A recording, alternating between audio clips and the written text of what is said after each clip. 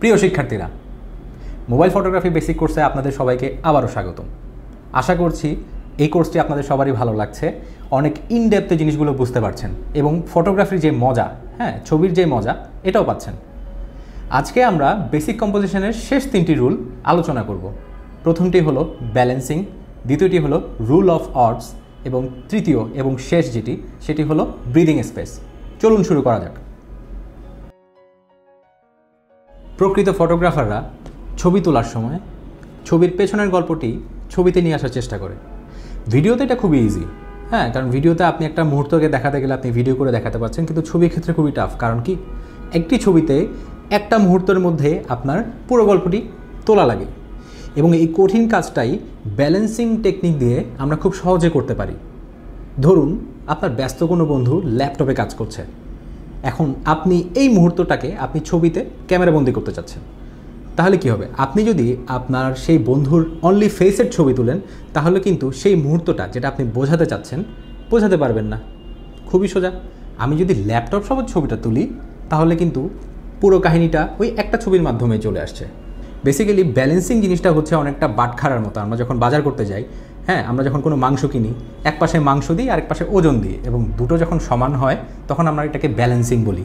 Same আমাদের ফটোগ্রাফির ক্ষেত্রেও ছবিতে কোনো একটা সাবজেক্টকে রাখলাম সাবজেক্টের পাশে সাবজেক্টকে রিলেট করে কোনো জিনিসকে যদি আমি পাশে রেখে ছবির ফ্রেমটা সাজাতে পারি, তাহলে প্রপার ব্যালেন্সিং সেই ছবিতে চলে আসে। মিনিংটাও সহজে বোঝা যায়।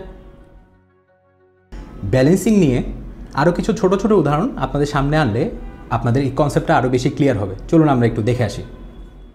ছবিটি লক্ষ্য করুন, কেটলি থেকে চা ঢালা হচ্ছে কাপে। তার মানে যে কাজটি হচ্ছে এবং কাজের রেজাল্ট দুটোই ছবিতে আছে, ছবিতে একটি প্রপার ব্যালেন্স আছে, মিনিং আছে ছবিটির। সাবজেক্ট দুটোকে এমনভাবে প্লেস করা হয়েছে যেন কোনো পাশ হেলে না পড়ে অনেকটা ওজন মাপার যন্ত্রের মতোই। তাই এটাকেও আমরা প্রপার ব্যালেন্সিং বলতে পারি।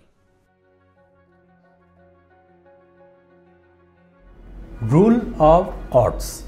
অর্ডস মানে হচ্ছে বেজোর সংখ্যা। তাহলে কি হচ্ছে? এই রুলটা হচ্ছে এমন একটা রুল যেখানে আমার যখন একাধিক সাবজেক্ট থাকবে, আমরা যদি দুটোর জায়গায় বেজোর সংখ্যা, তার মানে হচ্ছে তিনটি অথবা পাঁচটি, এরকম যদি বিভিন্ন বেজোর সংখ্যা রাখতে পারি আমার সাবজেক্টের মধ্যে, তাহলে ছবিটা দেখতে সুন্দর লাগে। আমরা একটু প্র্যাকটিক্যালি দেখি। আমার কাছে, ধরেন এগুলো আমার সাবজেক্ট আমার কাছে তিনটি কাপ আছে। তো প্রথমে আমি একটিকে সরিয়ে দুটোকে নিয়ে তুললাম। তার মানে হচ্ছে ইভেন্ট নাম্বার রেখে আমি ছবিটা তোলা ট্রাই করি। ওকে এবং তৃতীয় কাপটি এনে আমি এটাকে বেজোর একটা সাবজেক্ট এখানে রাখলাম। এবার তোলা ট্রাই করি।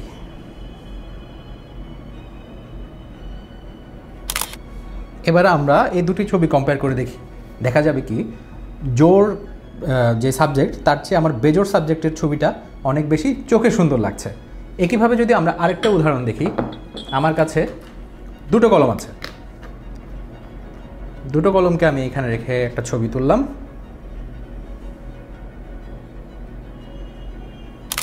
এখন আমি রুল অফ অর্ডস অ্যাপ্লাই করার জন্য তৃতীয় আরেকটি কলম রাখলাম। এবং আরেকটি ছবি তুললাম। এবার এই দুটো ছবি যদি আমরা কম্পেয়ার করি, দেখা যাবে কি দুটো কলমের চেয়ে তিনটি কলম যে ছবিতে আছে, ওই ছবিটা আমাদের কাছে চোখে বেশি ভালো লাগবে। এটাই বেসিক্যালি রুল অফ অর্ডস আমরা আরও কিছু এক্সাম্পল দেখে আসি, চলুন।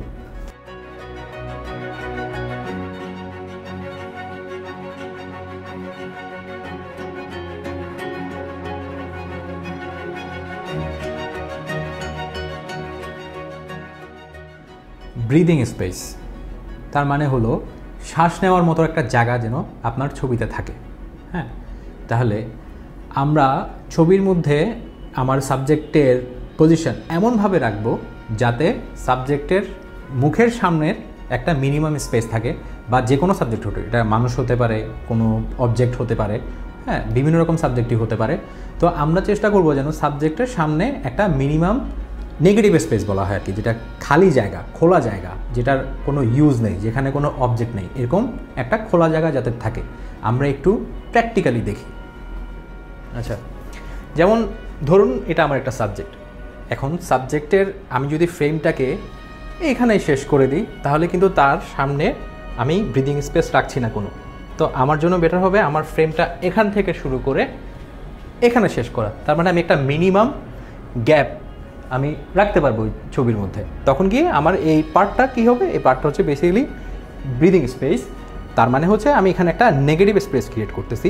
যেটা আমার চোখের জন্য ভালো লাগবে দেখতে, কারণ আমি যদি ফ্রেমটা কাছে নিয়ে যাই, তাহলে আমাদের সাবকনসিয়াস মাইন্ড থেকেই একটা অস্বস্তি ক্রিয়েট হয় যে ছবির মধ্যে ব্রিদিং স্পেসটা নাই। আমরাও নিজেরাও ওই ব্রিদিং স্পেসটা না পাওয়ার কারণে ব্রেথলেস অনুভব করি।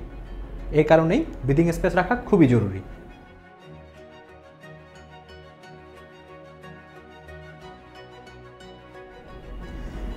ব্রিদিং স্পেস আমরা একটু আগেই বুঝলাম যে ব্রিদিং স্পেসটা আমাকে কোথায় রাখতে হবে। আমরা কিন্তু এই রুলটাও ভাঙতে পারি।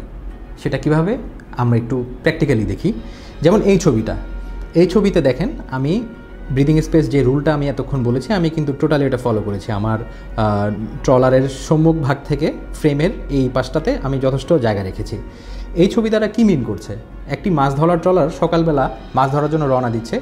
তার দিনের শুরু হ্যাঁ? তাহলে এই পাশ থেকে তার দিনের শুরু এদিকে গিয়ে শেষ হবে। এখন যদি আমি ছবিটাকে এভাবে রিপ্রেজেন্ট করি, তার মানে কি হচ্ছে? আমার ব্রিদিং স্পেসের যে রুলটা এতক্ষণ বোঝালাম, আমি কিন্তু ওটা ফলো করলাম না, আমি রুলটা ভাঙলাম। আপনাদেরকে এর আগেও আমি এই কথাটা বলেছি কম্পোজিশন রুলগুলো এমন না যে আপনাকে সবসময় মানতে হবে। আপনি যদি রুলটা ভাঙতে চান, তার জন্য প্রপার এক্সপ্লেনেশন লাগবে প্রপার ব্যাখ্যা লাগবে। তাহলে এই ক্ষেত্রে আমার ব্যাখ্যাটা কি? এই ক্ষেত্রে ব্যাখ্যা হলো, এই ছবিতে যেমন আমি বলেছি যে দিনের শুরু বোঝানোর জন্য আমি ট্রলারটাকে এই পাশে রেখে ফ্রেমের এই পাশটাতে আমি যথেষ্ট জায়গা খালি রেখেছি। এখন এই ছবিতে আমি যখন রাখলাম না, আমি এটাতে বোঝাতে পারি যে একটা ট্রলার মাছ টাছ ধরে সারা দিন শেষ করে ওর একটা দিনের টাস্ক শেষ শেষ করল, ঠিক আছে? তার মানে এই পাশটাতে আমি স্পেসটা রাখলাম, তার মানে ওর সারা দিনের কাজ শেষ করে ও এখন সন্ধ্যাবেলা বাড়ি ফিরছে। তাহলে দেখেন, একই ছবি আমি জাস্ট ফ্রেম চেঞ্জ করেই দুটো আলাদা মিনিং ক্রিয়েট করতে পারছি। ফটোগ্রাফির মজা এটাই। ছবি কিন্তু সবাই তুলতে পারে। ছবি কিন্তু আমার মোবাইল দিয়ে সবাই আমরা তুলি, তুলতে পারি। কিন্তু একটা ছবিকে আমি তখনই ফটোগ্রাফ বলব যখন তার মধ্যে একটা মিনিং থাকবে। তাহলে ছবিগুলোকে আসলে স্ন্যাপশট হিসেবে বলাই ভালো আর কি। যেহেতু এগুলো স্ন্যাপশট না, আমরা যেহেতু এখন ফটোগ্রাফার হওয়ার পথে, আমাদের ছবিতে অবশ্যই একটা মিনিং থাকতে হবে। সহজেই বুঝতে পেরেছেন? প্রিয় শিক্ষার্থীরা বেসিক কম্পোজিশন রুলস এখানেই শেষ। কিন্তু আরও অনেক শত শত রুলস আছে বাট যে কয়টা বলেছি, এগুলো যদি একটু মানা যায়, ছবি আপনা আপনি সুন্দর হবে। আগামী ক্লাস থেকে আমরা লাইটিং নিয়ে আলোচনা করব লাইটিং শিখব। লাইটিং কত প্রকার হতে পারে, কি কি লাইটিং আমরা ইউজ করতে পারি এবং কত সুন্দর করে ইউজ করতে পারি, এই জিনিসগুলো নিয়ে আলোচনা করব আগামী ক্লাসে। সুতরাং সবার সাথে দেখা হচ্ছে আগামী ক্লাসে। Till then thank you very much